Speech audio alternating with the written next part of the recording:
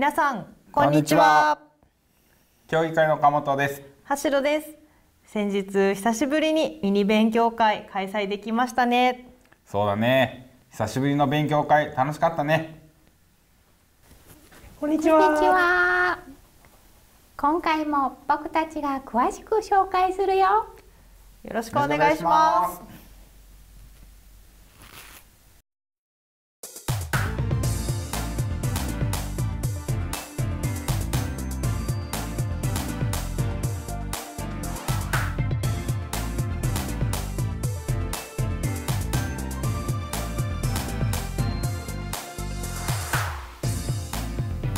まりました。感動民泊タイムズの時間です。本日助手を務めさせていただきます。民泊すすめです。大島次郎です。本日は2月3月に実施されたミニ勉強会の様子をお伝えします。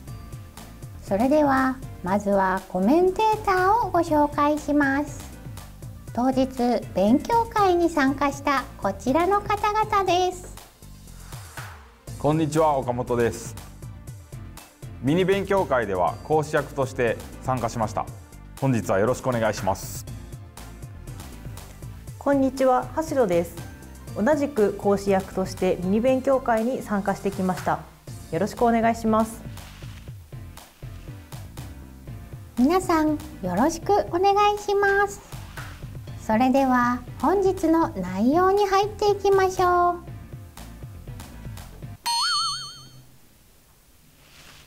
お願いします。皆さんよろしくお願いします。それでは本日の内容に入っていきましょう。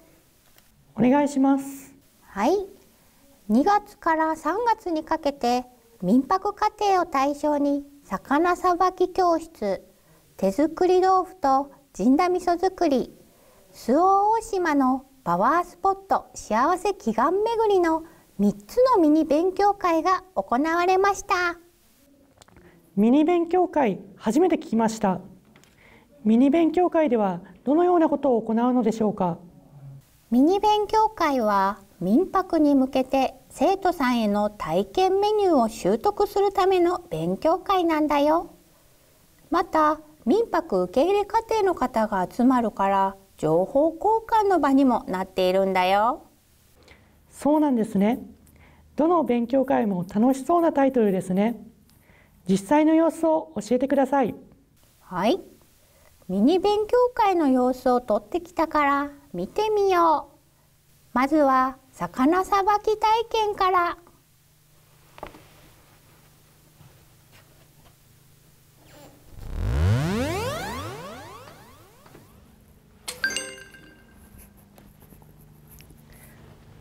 寿司職人でもある岡本さんを講師に迎え4名の受け入れ家庭さんが参加されました。えー、なさ料理は何にしようって考えてもらえればいいだけなんですけどまあ大きくできれば刺身とかこれとこれ違うんです実は。まずは本日さばく魚の紹介です。今回は？マダイとチダイが用意されているようですねイメあの分かりやすいのはえっ、とねここのところに血みたいなのがビヨッとついてるマダイとチダイはよく似ているのですがよく似ていると違いがあります。アイライン。がないのと、うん、あとねこのここのところ。ヒレの形。ひっぺがれてるこうやってやると綺麗に取れます鱗をペットボトルキャップで取るのは便利ですね。で、えーと、気をつけてもらいたいのはここ。ここここのところがこうやってやってる時にここ刺さる。ヒレや尖った部分に注意すれば安心して民泊生にも鱗取りを任せられるね。ここから頭からまずは岡本さんから魚の切り方の見本を見せてもらいます一回切ります。包丁はなるべくギコギコしないように引く感じでやってください。ギコギコすると身が割れちゃいます。で落とす。とちょっと身がいこんな感じ。まずは。綺麗な三枚おろしですね。さて皆さんうまくさばけるのでしょうか？一つずつ丁寧にやってもらえたら。なら全部鱗を取る工程を全部やってもらったらちょっと疲れるかもしれない。そっちの方が多分力岡本さんの指導を受けながら皆さんさばいていきます。包丁そうそう入りやすい包丁のところがここら辺が多分一番入りやすいと思うんだよね先っちょはまあ入ればいいんだけど多分入りにくいと思うそうそうそうそう。ちょっと筋入れて。先っちょが多分入りにくいんで、うん、なのでここら辺でそうそうこうやって入れながらやっていけば入るんです。もうでも魚は基本的に数こなさんとうまくならんですすぐにはうまくならん魚の行動を理解すればいい。魚をいっぱい触ると分かってくる。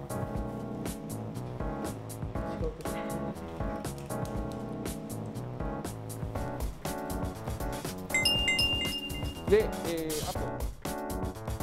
刺身の切り方では2パターンの切り方を紹介しました。切り方も種類があるんですね。そうなんです。今回は平切りとそぎ切りで刺身作りをしています。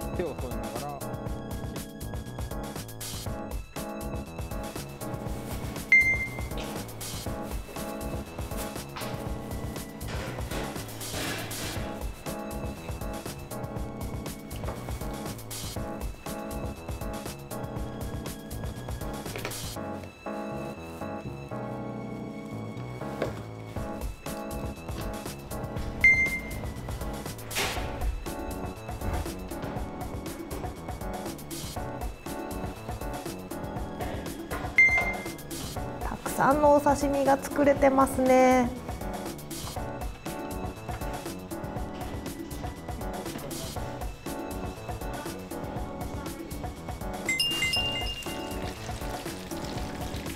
残ったアラも手羽先風唐揚げにすることで美味しく食べられます。二度揚げしたやつね。ニンニクを効かせた甘辛ソースがしっかり身に絡まっておりあありがととても美味しかったです。うでかすぎる余ったアラに困った時はぜひ作ってみてくださいね。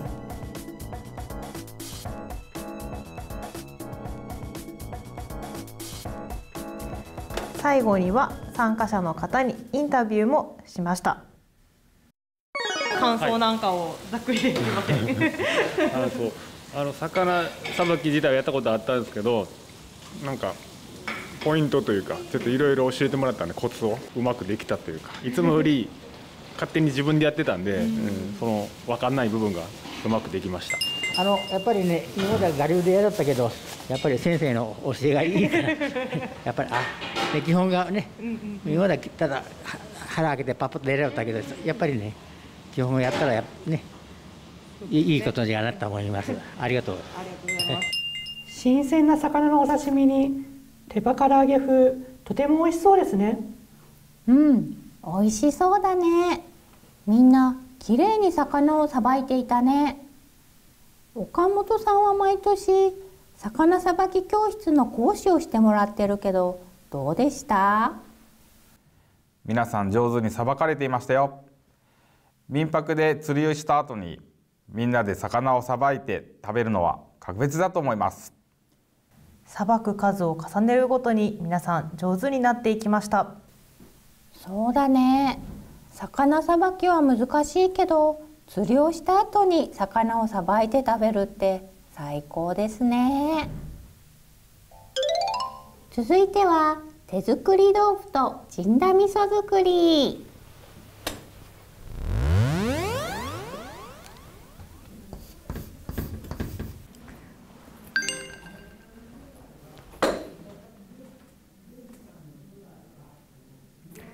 豆から作る豆腐と大島の郷土料理である神田味噌作りを教わりました。で手元に一応レシピをお渡ししてるんですけど、まあ、豆腐。は豆乳作りから始めていきます。ミキサーにかけて大豆を粉砕していきます。大豆は前日から一晩つけないといけないので忘れないように注意しましょう。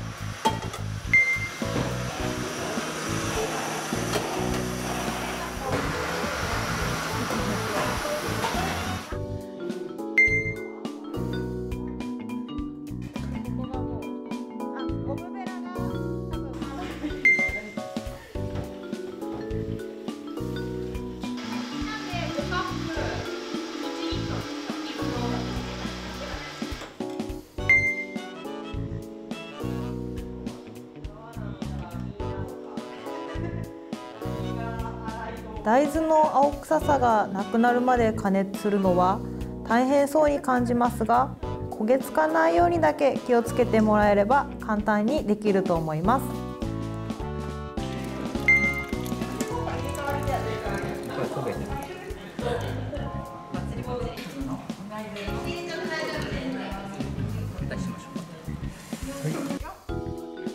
できた豆乳を70度から80度に温めてにがりを豆乳に入れたらほぼ完成です。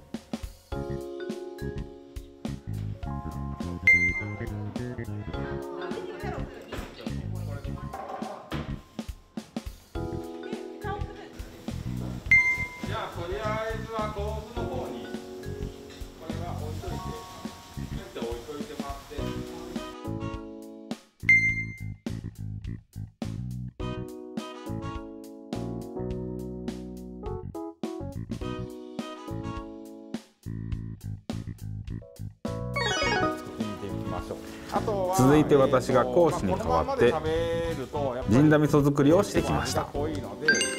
それこそ豆腐につけて一緒に食べたりとか、まあ、チシャッパーと一緒に食べる方が多い。昔あとはなんかうんと今回はメバルを使いましたメバルでなくてもその時釣れた魚でも大丈夫です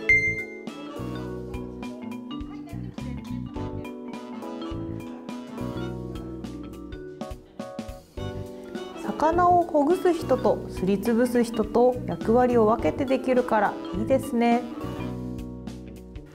そうだね。一人だと根気がいる作業だけど民泊生と一緒にすると細かな作業も楽しくできるよね。最後に調味料を加えて混ぜたら完成です。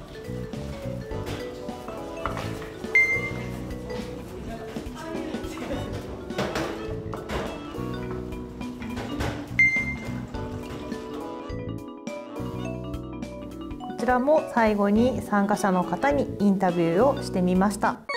豆腐はどうでした？豆腐はね ちょっと細かったような気がしないでもないですけど えーっと市販のよりは美味しかったです。ね、ありがとうございます、ぜひ民泊でもはい。やってみてください。初めての僕頑張ります、はい。そうですね。神田味噌作ったりは昔からしてましたしてました、私はあのメバルはもったいないから。メバルじゃなくスズメダイあーあ。炭で焼いてもう骨ごとへえなるほど。そういうそう確かにスズメダイね、民泊でもいっぱい釣れますもんね。いいかもしれない。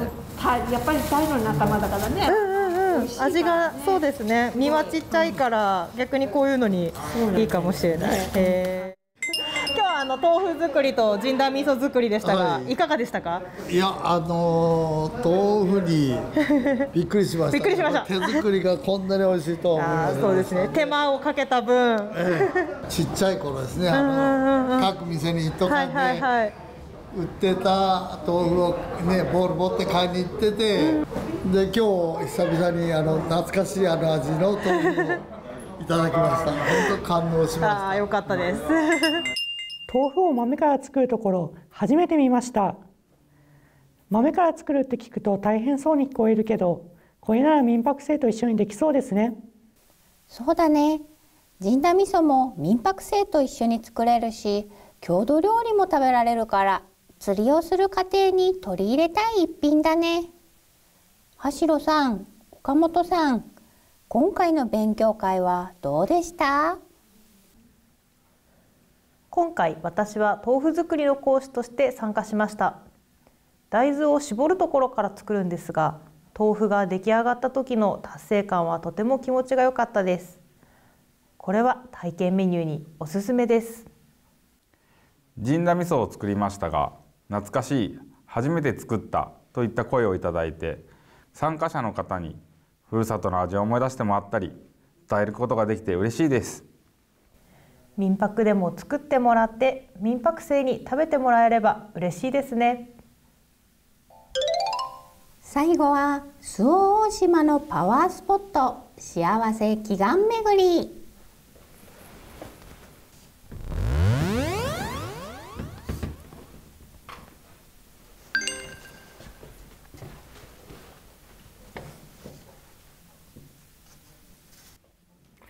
4家庭7名の方に参加していただいてドライブを楽しみながら幸せ祈願巡りをしました。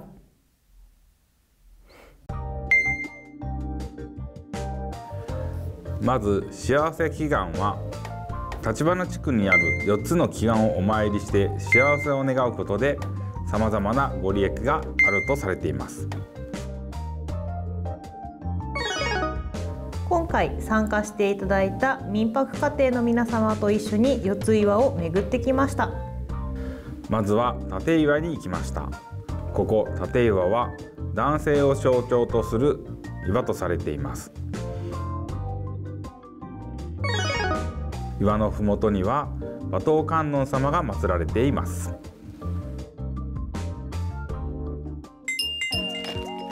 続いて岩門に行きました。岩門は女性を象徴とする岩とされているようです。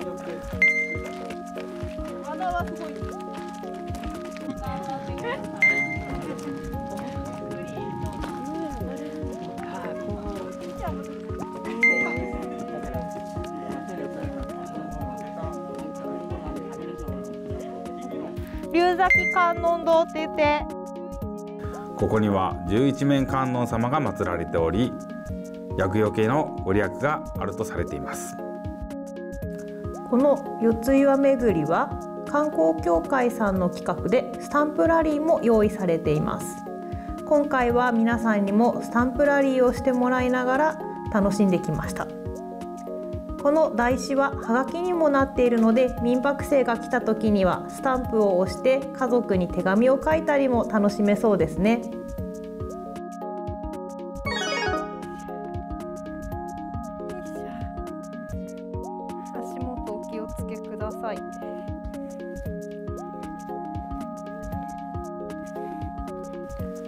小さな山を越えて浜辺に降りてくると岩門が見えてきます。岩門本当に絶景でした。削られこれ一応波とかで侵食？されてこの形になったと言われています。上が削られる。ね。どういうなか波でなのかがあれですけど。で時期と時間が良ければこのここにちょうど夕日が沈むのが見えるみたいです。一回も見れたことはないですが。この日は晴天だったから見栄えがとても良かったね。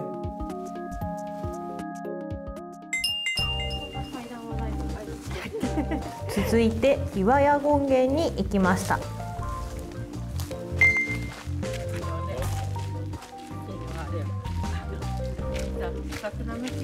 って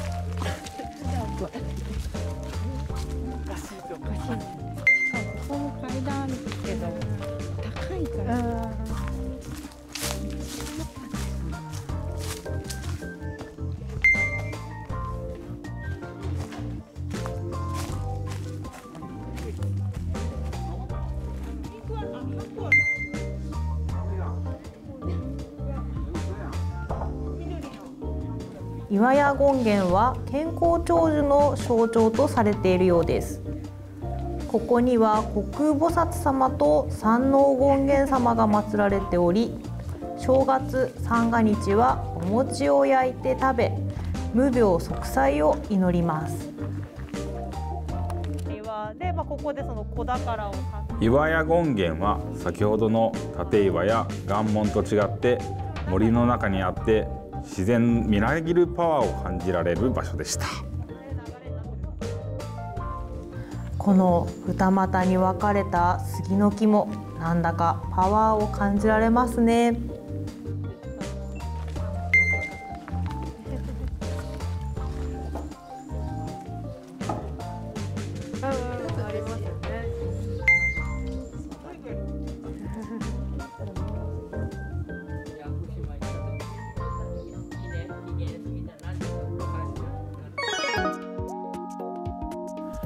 最後に帯石観音に行きました。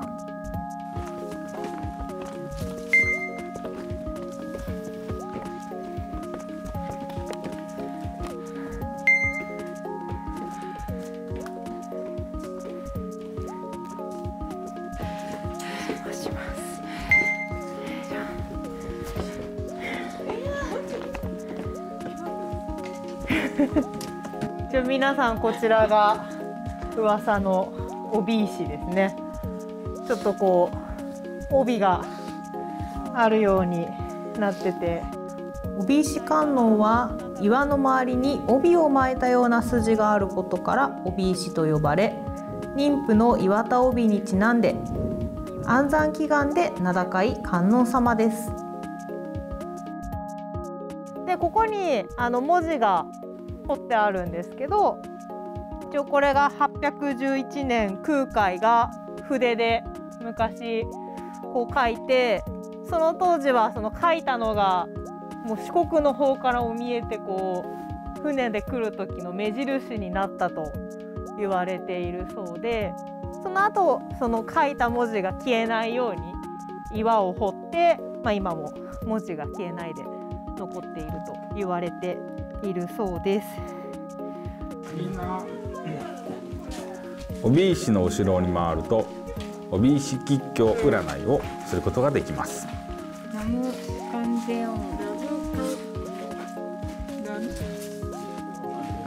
帯石に石を置いて止まれば吉と書いてありました。民泊生が来た時に一緒にやると盛り上がりそうですね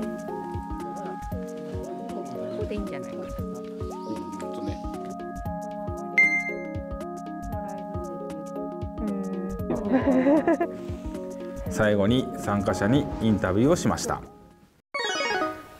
あの一回回ったことあったんですけど、全部。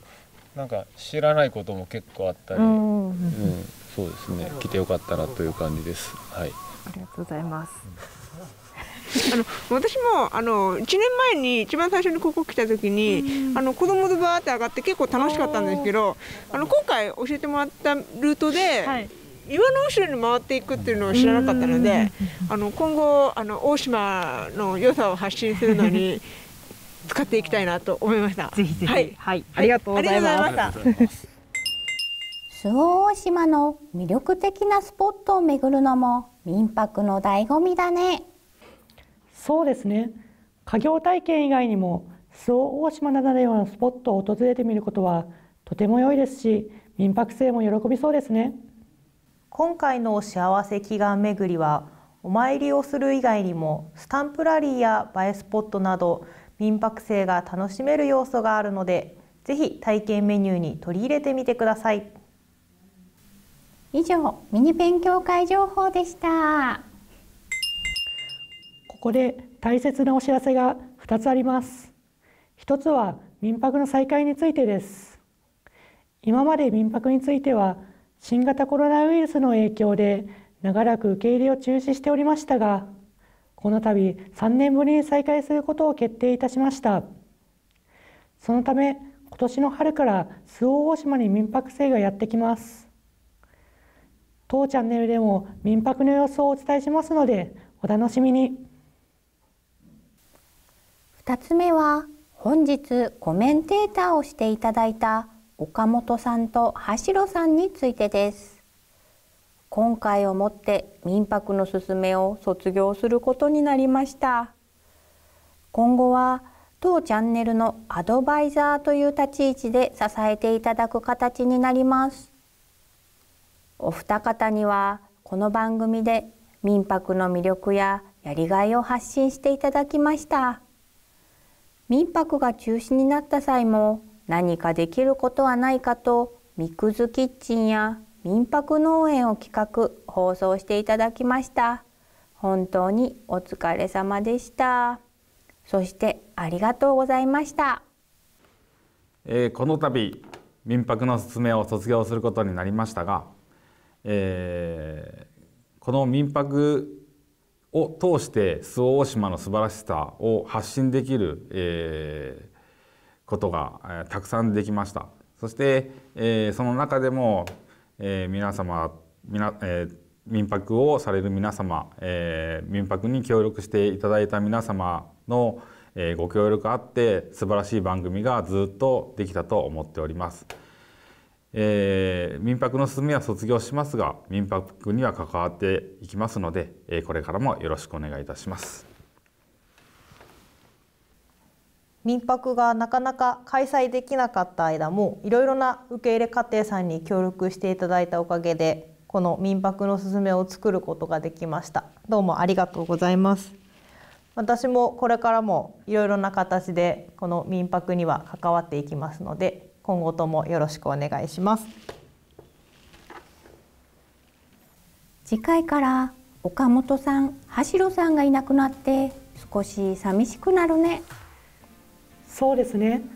岡本さん橋野さんが作り上げてきたこの民泊のすすめをこれからも魅力あふれる内容で放送できるようにしていきたいです。それでは本日の民泊タイムズを終わります。